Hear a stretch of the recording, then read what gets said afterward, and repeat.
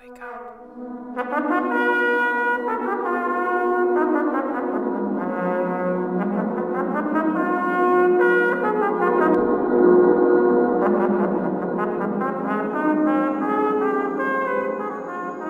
Right now, it's about 330 million years ago. The Earth is in the Carboniferous period. At the time, much of the Earth was covered in a biome that is now foreign to us. These coal forests were muddy, humid, and full of oxygen. It was a perfect storm of conditions that created two things in excess at this time coal and giant arthropods. This is Hibbertopterus, one of the largest arthropods to ever live.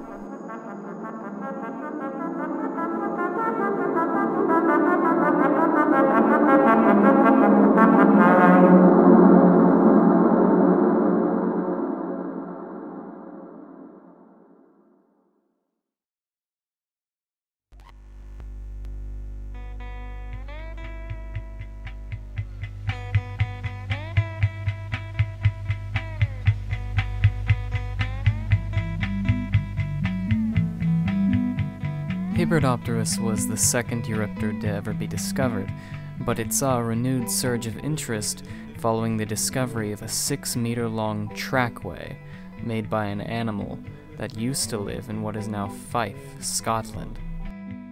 These tracks were composed of about four main parts three pairs of legs on either side, a hexapodal stance implied by body fossils of Hibbert, and a much heavier midline created by the large telson that dragged behind it as it moved.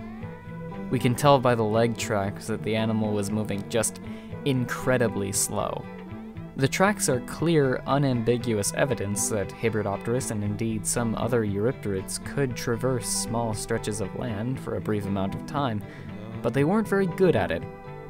It didn't walk so much as it dragged itself across the mud.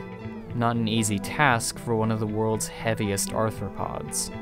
While a few Eurypterids were easily longer than Hibbert, they probably weren't heavier. The tracks in Fife were made by an animal about 1.6 meters long and a meter long at its widest. Not to mention the height of the animal. Hibbertopterus was significantly more robustly built than other Eurypterids, which mostly stuck with a flatter profile. Larger examples of Hibbertopterus in this area could have reached about 2 meters in length. Acutiramus and Carcinosoma both exceed 2 meters in length, and Jaekelopterus pushes 2.5 meters. However, further trackway evidence from South Africa seems to indicate one species of Hibbertopterus might have reached about the same size as Jaekelopterus. So, we've established that Hibbertopterus was lumbering across a stretch of mud through some far-off carboniferous swamp. But now we have a question. Why would a giant, heavy, aquatic arthropod do that?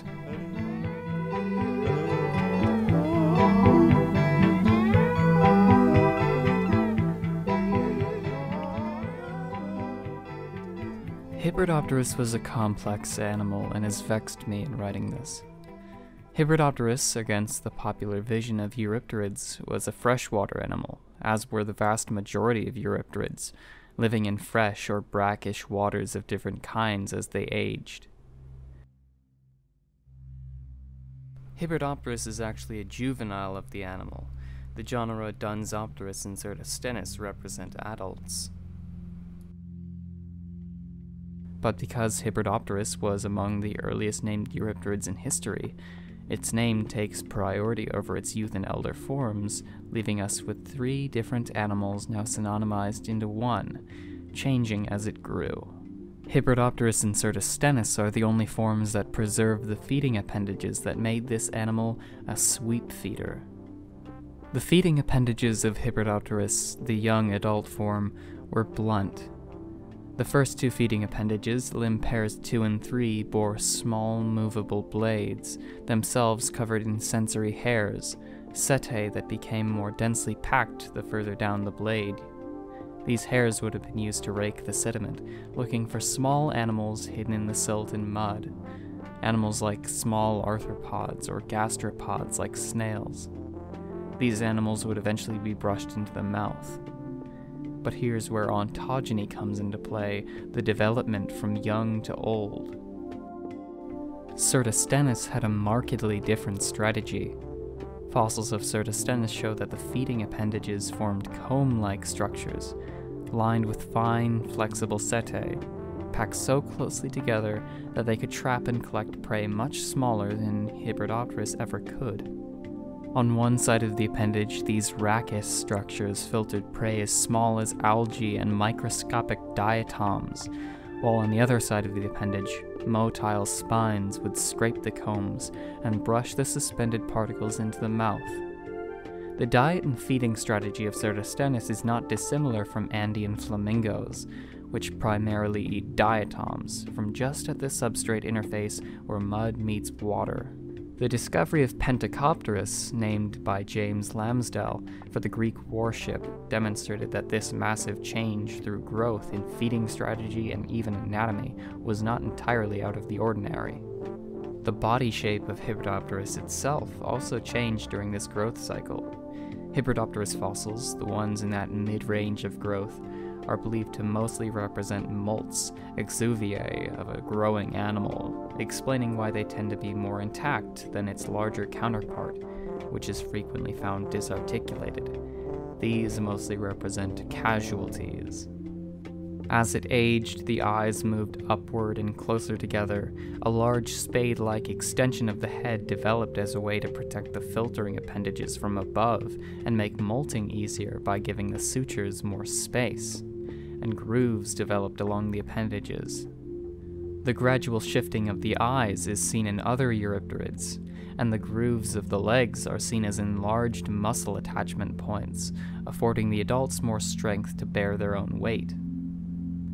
Our friend Hibbertopterus, from its home near to Fife and Kirkton Lake of old, was dragging its body through a swamp to travel to more fertile grounds in search of food, a mate, or some other worldly desire. Other Eurypterids have been indirectly noted to perform this task.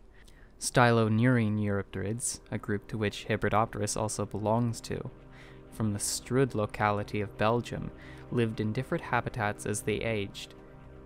Juvenile specimens were found frequently in rocks corresponding to low energy floodplains and ephemeral pools, while larger, more fragmentary specimens were recovered from rocks which represent the bed of a high energy fluvial body, an ancient rushing river which ripped up the remains of once rugged Eurypterids. At some point in the transition from young to old, the teenaged arthropods must have made the switch from calm pools to violent, more fruitful riverbeds, and the switch was made over land, Originally, Eurypterids would have only come into these more freshwater environments to molt safely, but during the Devonian period, the Earth was changing. Things were getting hotter, most of Earth's landmass was located closer to the equator, and the higher temperatures incidentally made low saline environments easier to handle, not only for Eurypterids, but chasmataspids and horseshoe crabs as well. Hibbertopterus in its strange beauty and ultraviolet reflecting carapace, in its squalor among the pond scum of a primordial swamp, died out sometime in the middle of the Carboniferous. It was an oddity of prehistory, and the world may have seen nothing like it at any other point so long as this planet has drifted through the stream of finite time.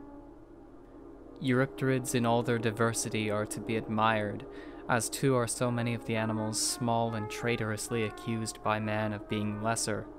From lobopods, those pioneers of our world, to the smallest grub living among the leaves of a Cretaceous rainforest.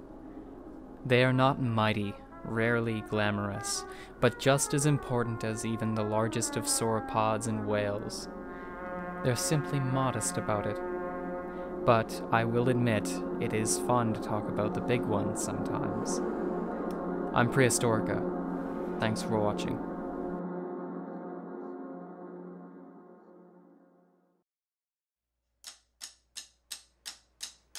There are flowers growing all around a massive animal inside of me, and it's so ugly, and I'm so broken, and I'm so ugly, and it's so broken.